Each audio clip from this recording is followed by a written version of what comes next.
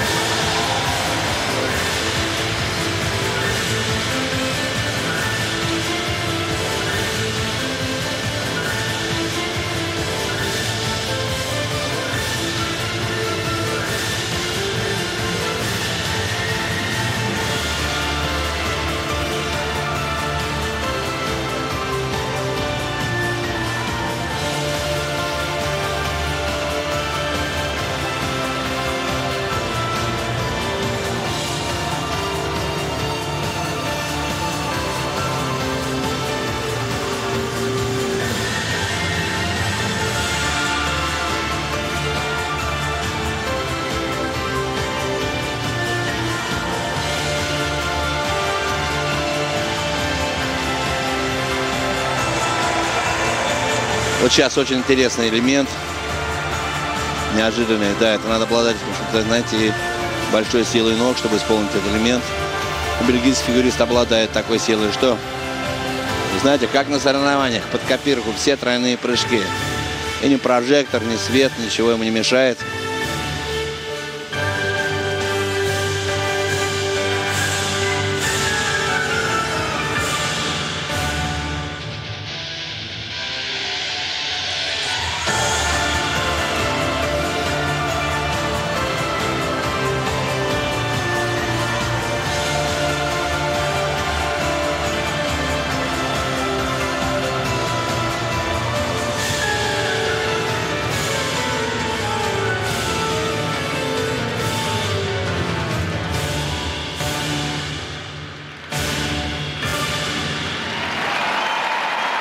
Кевин Вандерперен э, был в 2009 году бронзовым призером чемпионата Европы, как и в 2007.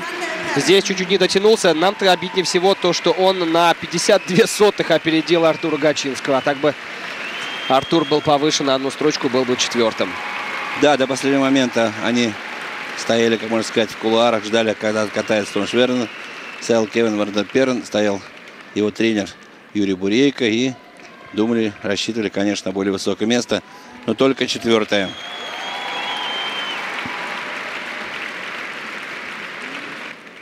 Beide geben als ihr Hobby Tanzen an und Tanzen ist ihre große Leidenschaft, ebenfalls auch auf dem Eis. Ну а сейчас, дорогие друзья, сейчас будет настоящий показательный танец. Сейчас будет танец. Сейчас будет спектакль. Да, Шанет Кер. Джон Кер. Да, бизнес, бизнесмены, бизнес-леди и бизнесмен. Ну что ж, давайте посмотрим, он должен быть интересным. Третье место в танцах на льду.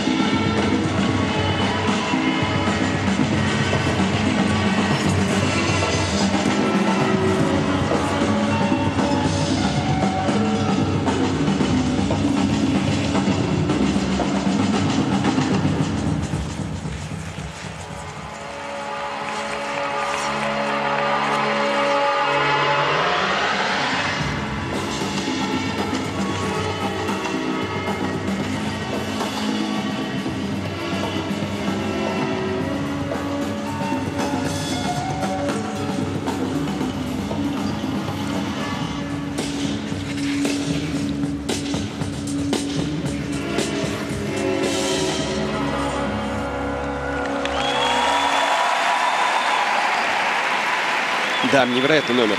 На самом деле, да. э, вот глубина его э, у каждого, наверное, вызывает э, разные ассоциации, разные образы. У меня вот появился образ, э, сразу мгновенно вспомнилась знаменитая книга э, 99 франков, да, э, версия русская в авторстве господина Минаева «Духлес».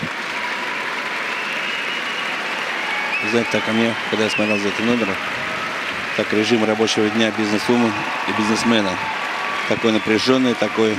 Ну, на самом деле... Э, роботизир, роботизированный. Ну, вот об этом и речь. Это, это история, история офиса, понимаете? Невероятные, конечно, они э, спортсмены, невероятные личности. И, честно говоря, э, я понимаю, что это может вызвать такую реакцию, то, что я сейчас скажу, но они вполне заслуживали здесь серебряных медалей. И вы знаете, э, я думаю, что э, меня правильно поймут э, и Катя Баврова, и Дима Соловьев, и их тренеры, к которым я отношусь с огромной любовью, симпатией и уважением. Но британцы были достойны здесь и второго места. Потому что то, что они делают на льду, и то, что они делают вне льда, это заслуживает самой высокой оценки. А вот этот парень стал третьим, э, но на самом деле, конечно, со спортивной точки зрения все правильно, а с точки зрения человеческой не так, как у британцев. Да, интересные чехлы у него на ботинках. Его, э, его резкий очень переход от Михаила Хута к э, канадскому специалисту, в общем, сказался и на качестве его катания.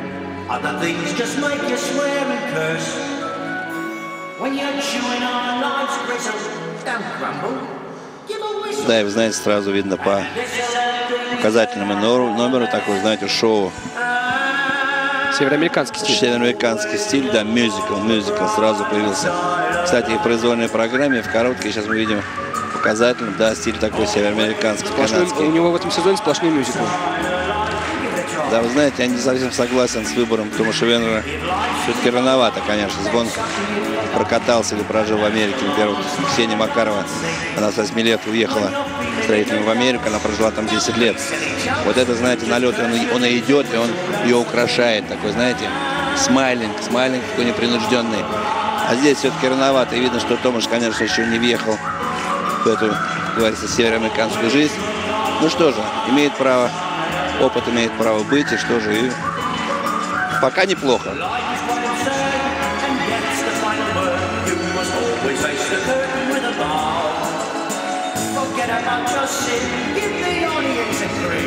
Enjoy it, it's your last chance anyhow.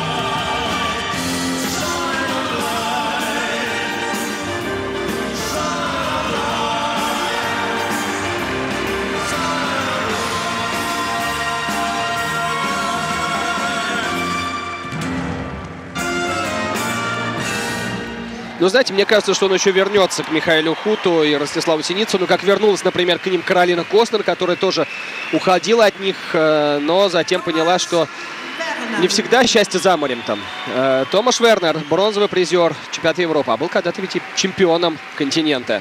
Тогда он, конечно, классно катался. Невероятная Абсолютно программа. да, абсолютно верно по поводу возвращения. Тем более, что в Берсдорфе осталась школа, она приобрела новую силу, приобрела финансирование. И сейчас будет второе дыхание, поэтому, конечно, сейчас самый момент Ну, кататься в Берсдорфе. тем не менее, это его выбор, это его право, он ищет, и это тоже правильно, потому что вечный поиск, вечное совершенствование. Im vergangenen Jahr waren sie